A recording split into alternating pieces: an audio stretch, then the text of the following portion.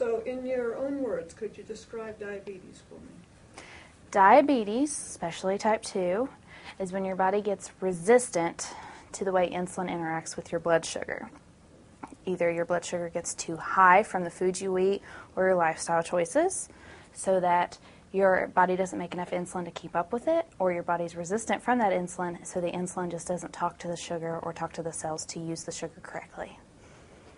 Wow, that's the most scientific explanation Yeah. I've had today. Is that what your patients say? No. What do your patients say? um, that they have sugar and that they usually think it's something that they've done. They take it very personal. You know, that I've either, um, their lifestyle choices, they've eaten the wrong things or they're not active enough, or a lot of them um, even say that it's because their grandparents or their parents had sugar or their brother and sister had sugar, so they inherited it from them.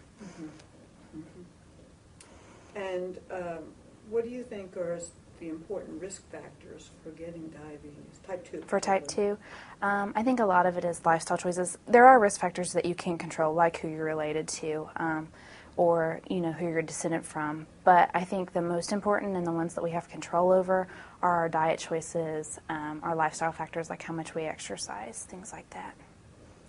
Um, What do you think are the most important things that if a person has uh, been diagnosed Mhm. and has the disease, what do you think are the most important things for them to do to keep the disease under control? I think one is admitting that they are diabetic. And I find that um, when I see patients that are newly diagnosed, the denial is the biggest factor. Like, well, I know so and so had this and they didn't have any problems, or I feel fine, so I may have this, but it doesn't affect me. And I think just admitting that, yes, they have this and that they personally need to acknowledge that and take control of it is, is huge because that's the first step in realizing that they need to make those lifestyle choices. So you see a lot of patients, Yes, I see quite a few. And what are some of the common concerns that you see? Um, the number one, because usually people know somebody in their family or through their life that they've encountered that has had diabetes or what they typically call sugar, um, is that they know that person went blind or lost a limb or had um, a lot of hospital stays or sick time, I guess you would call it, because of their diabetes, and they're concerned about that happening to them. And what do you say to them? That they can prevent that or they can control that from happening in their future, that it's completely preventable. And what kind of response do you get? Um, I get mixed. A lot of people are relieved that it's not a death sentence or it's not a major, um, you know, a life-changing event like losing a limb or something. But then when they realize that that entails major lifestyle changes, I get a lot of anxiety and a lot of resistance because people are very set in their ways and they hate making changes. Now, you said you, you don't have diabetes, but I do you not. have a family member. Yes, I have my father right now. He's been a diabetic for about 13 years. Um, and he was one of those that didn't want to admit that he had anything wrong because he felt fine. And now that he is 56 years old and has had diabetes, like I said, for 13 years and has high blood pressure now too, it's starting to catch up with him and he realizes that he needs to take control of it. How, do you know what happened, that, how he got diagnosed? He actually works for, or I guess at the time it was USEC, um, out at the Piketon A plant, and they have to have a yearly physical. And whenever he went for his physical, they said everything looked okay, but his eyes, he actually had some problems with his vision that was from running high blood sugars. And I didn't realize, I was 13 when he got diagnosed. And it's actually funny because we went to Disney World that summer and we drove because we're crazy people. So we loaded up in the van and went to Florida. And I realized something was wrong when we had to stop every half hour for him to go to the bathroom because he had to urinate that often. So we knew where every restroom was between Southern Ohio and Orlando. There's a lot. There's a lot of restrooms. But that's actually how he got diagnosed, and he got referred to an endocrinologist. And he's been, um, I mean, he's been compliant as far as he takes his medicines, he checks his blood sugar, and he, um, you know, always gets his A1C drawn and looks at that number. But as far as making his personal lifestyle changes, like watching what he eats or making better conscious decisions about the food he, he takes in or exercising, he's not been as much as just following the doctor's order for checking and taking his medicine. Now, what does your mother do to try to Try to help. help or support him? She realizes what she's supposed to do, and she does it most of the time. But my poor mom tries to make everybody happy, so she will fix um, the wrong foods occasionally. For special occasions like Christmas and Thanksgiving, especially, she brings stuff in the house, and that's a big temptation for my dad. And sweets aren't so much the issue, but it's just um, just carby rich foods, the potatoes, and uh, he likes to eat too much of those things. So she does try, but I think now that we're having more problems controlling his blood sugar, and I say we because it's a whole family ordeal. Um, I think she realizes she's she's not bringing things as much in the house, and she's not making as big as portions for him to eat or for any of us to eat because we none of us need it. Okay, so you just said it's a whole family ordeal. So tell me a little bit what that means. Um, I call my husband the food Nazi because even though he's not medical whatsoever, he still thinks he should be a registered and licensed dietitian. Whenever I was pregnant with the twins, is when he really got involved, and I al- already did diabetes at the hospital, so he knew a little bit because I would bring stuff home to try to learn or to try to educate him. Um, because I find that I became a better educator by educating my family. But um, I call him the food Nazi because when I was pregnant, he was like, "You can't have that. It's not good for the babies. You need to eat this." Well, he did the same thing now that he can't focus on me and what I eat. He does it to my dad and says, "Oh, I'm reading the label, and this has this many carbs, and you're only allowed to have this many per meal. So you can only have half a portion size, or you need to trade it for something else that we have available." So. Um, my husband's involved. My brother, not so much. He's still young and has that mentality that, you know, I guess he's invincible, and dad is too. So he doesn't worry so much. But um, my husband and I both, I won't say we get on my dad's case because that sounds very negative, but we try to encourage him to make healthier choices and to really take care of himself, especially now that he's got the two grandbabies to enjoy and help raise.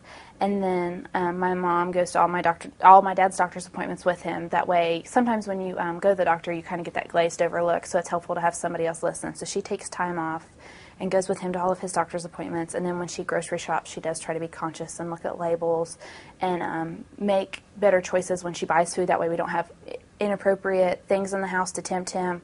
Or um, whenever she does have those things in the house, she tries to limit the portions that would be available. So it sounds like education's paying off in some ways.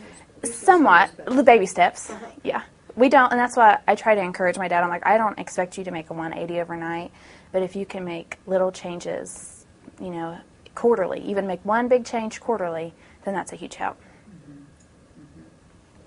Um, What can people, does your dad belong to any groups, church or? hmm He, um, we're, they're very active in our church. My dad, until just recently, was actually um, in a like ATV four wheeler club where they went, and that was what he considered his exercise a lot. Um, was a little league baseball coach forever, but now that my brother and I are older, he's pretty much content with just being papa and going to church. Right. Yeah. So in these groups that he belongs to, th- Mhm. does uh, the topic of diabetes ever come up, or does he get any support there? I think probably quite a bit at church because there's a few, quite a few diabetics that go to church with us, and it's harder when we have like carry-ins and things um, for them to find good choices that don't mess with their blood sugar too bad. But I think that as a culture, we, um, I don't know, I don't say we don't like to broadcast our issues, but it, it- people keep it closer to home, I think, than more so at these groups, from what I've seen. Um, I'm a very open person, and I'll talk about anything with anybody, so I guess I don't see it so much personally, but I know looking from the outside in, I do see it a little bit that they don't want to open up and talk about it a whole lot. Um, What do you think a community can do to help prevent diabetes? I think a lot of it is just education and being open for conversation, you know. And I, I think um, what I see more than anything is people judging or maybe putting the wrong information out there because I hear so many people say, "Oh, well, you have diabetes, so you can't eat that." Well, it's not that they can't eat it; they just have to make alternative choices with other things that they eat. Um, or learn how to balance, I guess, more than anything, is balance your life and lifestyle. And I think that's a big misconception. And a lot of people that have a little bit of knowledge, just enough to be dangerous, are throwing those incorrect misconceptions out there. So I think a lot of it is just proper education and teaching them the real truth and getting How do you them. do it? That's a hard part. that's the hard part. I think it's just one person at a time. You know, or one family at a time, getting the correct information out there. Um, uh, Getting people to, um, hear- One of the things that I've kind of noticed in the population is that uh, that there are sometimes conflicting messages. Mhm. So grandma says one thing and Yeah. mother-in-law says one thing and Mhm. the doctor says something else. You know, do do you have that kind of thing? We do. We actually just had a um, emergency room visit last last Wednesday morning, so a week ago today, with my dad, and it was because his blood pressure was too high. But when he got there, his blood sugar was too high as well, and they were giving him insulin. Well, my dad had never had insulin before because he was always just on oral glycemics, and they they gave him the shot and he goes well what was that for? And the ER nurse just goes well your sugar's too high. Well we got that. We understood that but he didn't understand you know why were they giving him a different medicine when he already took medicine for his diabetes? What was his sugar was never told what the number was. And then when the doctor came in you know my dad said and I was with him, so and, and they didn't know that I was a nurse nor that I was the diabetes educator at the hospital. So I'm just sitting there, kind of being a window shopper and observing to see how things work. And you know, the doctor tells them, "Well, you're overweight, so you need to lose weight, and um, you know, diabetes is really dangerous, so you need to take care of yourself." And that was all the education my dad was given. So I asked while I was there, you know, can we get a a referral for a nutritionist. That way, when he's outpatient, he can go and learn how to eat. That way, he can maybe lose some weight and get better control of his diabetes. Well, that his family doctor has to order that. And while I understand that, I think when you have a captive audience and somebody's asking for that information, why you wouldn't dole that out. And I think that's a that's one way to get to people because right then he was scared because his blood pressure was very high and his sugar was very high and it was enough to make him want to do something. And he asked for the help and we didn't give it to him as a profession. And that was disappointing for me. So that's been my new mission is when people ask for help that we're willing to bend over backwards to give it. I'm sure in um, uh, doing diabetes education, you see people, maybe like your dad, who had the disease for a long time Mm-hmm. come in. that's really what I see more than anything. And I, I think that's sad because I think anytime you have somebody that's newly diagnosed, they need that education. You know, a lot of times in the physician's offices, they're diagnosed, or sometimes they even go to the ER and get diagnosed, or are diagnosed by accident as inpatient, and they're handed a meter and they're handed a pamphlet, and it says, you know, and they say, check your sugar and eat better and lose weight, and that's all they get. And that's not enough education. So I think one, we're missing that we're not referring people, that they get one on one attention with, with a nurse and with a dietitian, with a pharmacist that teaches them comprehensively how to take care of themselves and prevent and control their diabetes. And then I get mainly people that have been diabetic for 10 or more years that are finally realizing that they can't control it with the knowledge that they have now and they need help. And that's mainly what I see. People that are at the point they're starting to have long term complications and their A1Cs are not where they want them to be, and they don't usually, what motivates them to come see me is that they don't want to take shots. They don't want to move on to insulin. They want to keep taking the pills, so they want help. That's usually how I get people in my door.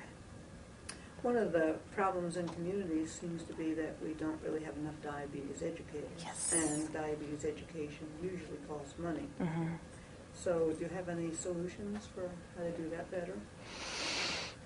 I know, and this is just me personally, I cannot say that just because somebody cannot pay that I would not help them. I think that as a nurse, that whenever I got my license and had my education, that I stood up there I stood up there and swore that I would take care of people. And that doesn't mean people that have insurance and can afford to pay me. That's everybody. So if I have somebody personally that says, you know, my insurance will pay so much, but I can't afford my copay, will you come right on in? And I'm not going to worry about your copay, or work. We'll work with something out. You know, um, we have we've had the grant program through the Ohio Department of Health and Healthy Ohioans for the past year, and it's over now. So I don't know. We've seen 300 and 348 people, I think, last count, and I don't know what we're going to do this year for the the next 300 people that need help. We're trying to find solutions, but money is so tight right now. Um, ideally, it would be to teach. Um, I think one of our big problems is that floor nurses that have nursing education and they're more than capable of taking care of diabetics and teaching people with diabetes, I think they're afraid. I think that um, they don't trust their knowledge base. So I think reinforcing that and teaching them that it is okay to help these people and you do know what you're talking about. So get your message out there.